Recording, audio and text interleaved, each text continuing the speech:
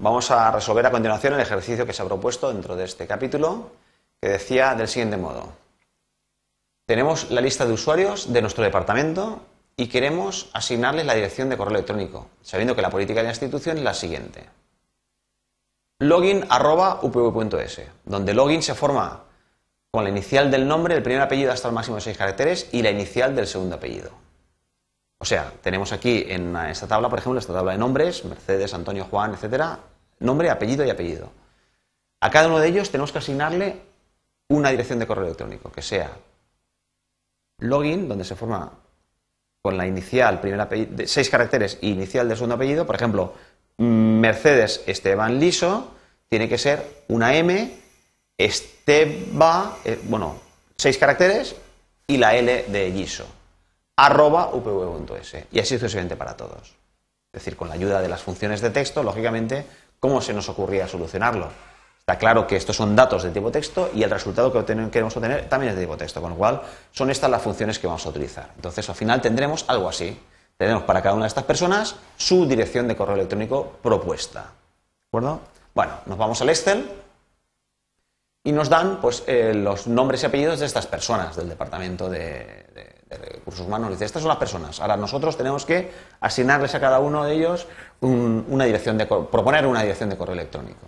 Bueno, vamos a ver. Eh, tenemos que calcular la inicial del primer del nombre. La inicial, inicial. Vamos a poner aquí, vamos a ir poniendo el eh, inicial. Bueno, entonces aquí vamos a introducir una función que extraiga el primer carácter de la palabra que está aquí escrita de Mercedes. Esa es la inicial, la M, ¿vale?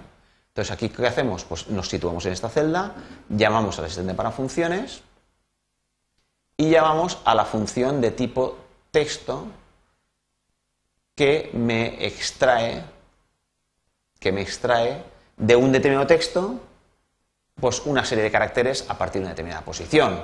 Bien.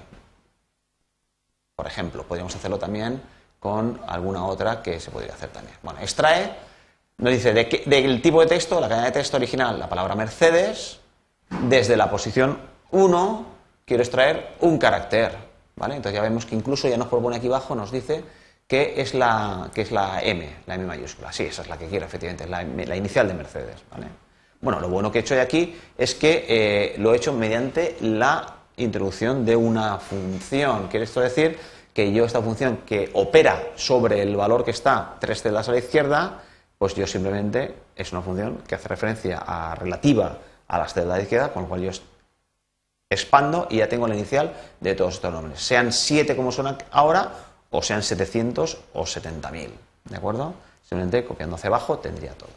Bueno, ya tenemos la primera parte.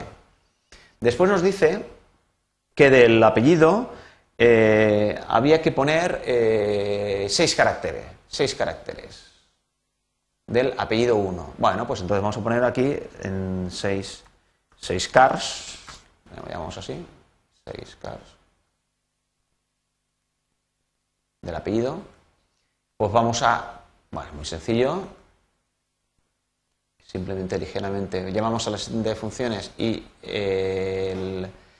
prácticamente hemos de utilizar la misma, dentro de texto la extrae. Hay una que se puede hacer, por ejemplo, vamos a practicarlo si queréis, eh, por ejemplo, la parte izquierda. Izquierda es lo mismo, pero eh, es la misma que extraer, lo que ocurre es que asume que es desde el primer carácter, es decir, que izquierda de, la palabra Esteban, del texto Esteban en este caso, por seis caracteres, seis caracteres, ¿vale? No lo habíamos visto en la parte, en la parte teórica, pero bueno, vemos aquí que es otra de las funciones que lo podemos utilizar, eh, pero ya sabiendo un poquito cómo funcionan, pues podemos deducirlo fácilmente leyéndola, incluso la, simplemente la ayuda. Bien, se omite, se, aceptamos y hemos obtenido Esteba, que son Esteba, seis caracteres. Gracia, seis caracteres. Domín, seis caracteres, Alonso, etcétera. Y aquí nos preguntaríamos, por ejemplo, con Marco, nos preguntábamos, ¿qué ocurriría si le decimos que extraiga seis caracteres y solo tiene cinco? Por ejemplo, este apellido solo tiene cinco. Bueno, pues vemos que extrae cinco. Si no tiene seis, pues extrae cinco, los que tenga. ¿De acuerdo? Bien. Y finalmente, una nueva inicial, en este caso del apellido, que fijaos qué sencillo lo voy a hacer, que porque esta es extrae la inicial, el primer carácter del valor que está tres posiciones a la izquierda, una, dos y tres, pues mira, yo cojo esta fórmula, la que está aquí, le digo copiar y en realidad aquí quiero lo mismo, pues edición, pegar. Y ya lo tengo. La L de ISO, la A de Andreu, la P de Perales, etcétera. ¿De acuerdo?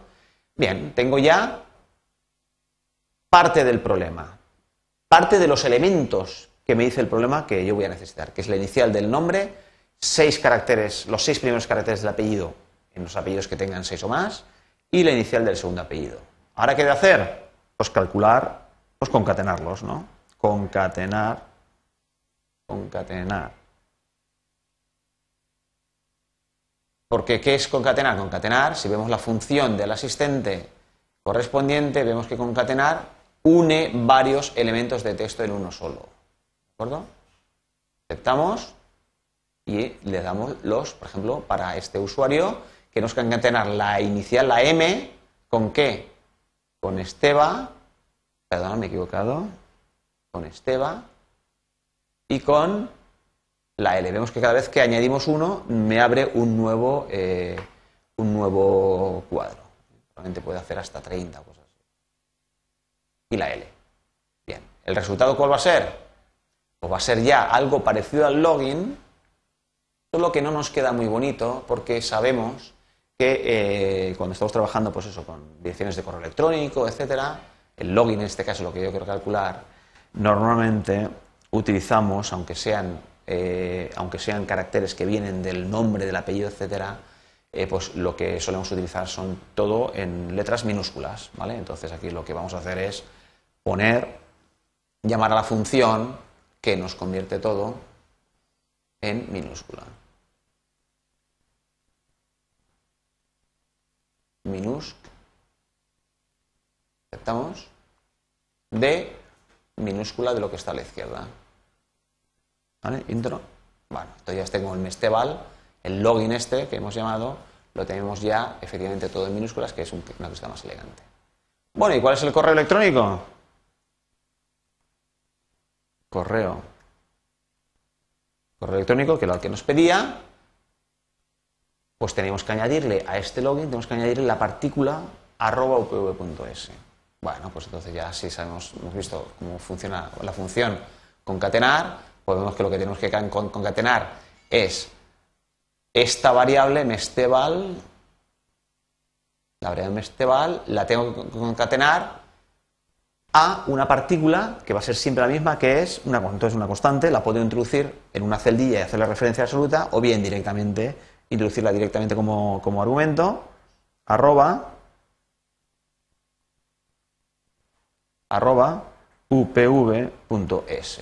Entonces vemos que esto es un texto, cuando vamos al siguiente, que nos lo introduce con comillas, con lo cual eh, al concatenar vemos que efectivamente nos ha propuesto mesteval.pvs. Lógicamente, como esto hace referencia o a la celda de izquierda o a una constante, arroba pues no tengo ningún problema en expandir esta eh, direcciones, esta, esta, esta, expresión hacia abajo, ya tengo obtengo las direcciones de correo electrónico que yo podría proponer para su utilización según las premisas que me han dado en este ejercicio.